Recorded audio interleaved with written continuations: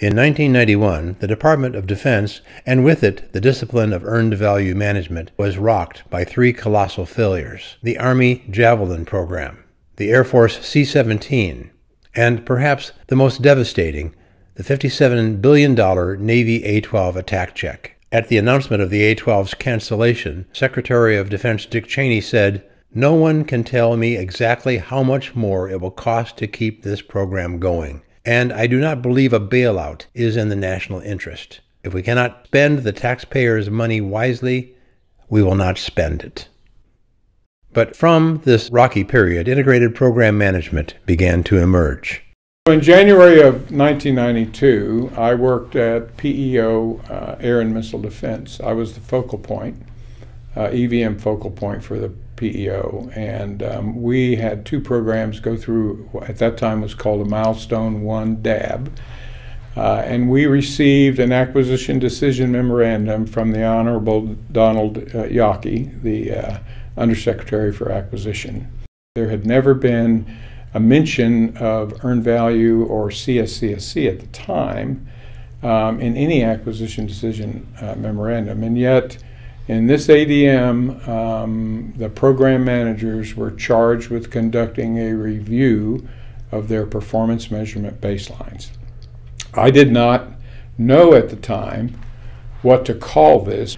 This represented the uh, very foundation, the first technical reviews by PMs and their engineers uh, of the performance measurement baseline that took place. I called it a technical baseline review. Uh, it actually uh, was, the name was changed and corrected by Wayne Abba and Gary Christle at OSD.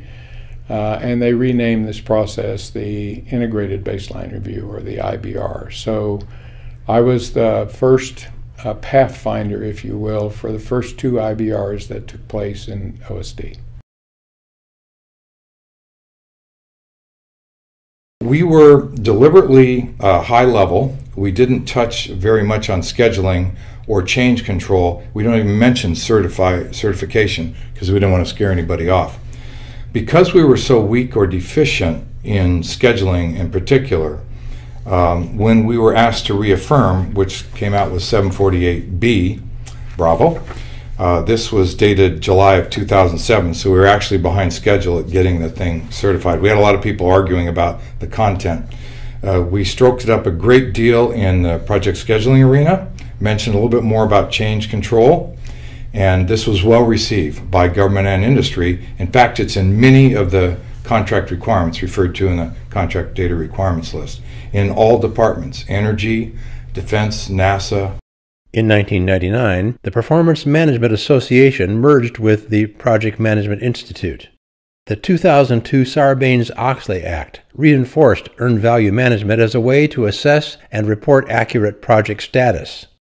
In 2003, earned value management was codified as a standard AS 4817 in Australia. In 2005, the Department of Defense published DI MGMT 81466A, the Contract Performance Report, CPR, Data Item Description, known in short as the CPR DID. And the next year, 2006, the Department of Defense published the Earned Value Management Implementation Guide, which is stated provided uniform guidance for DoD program managers responsible for implementing earned value management.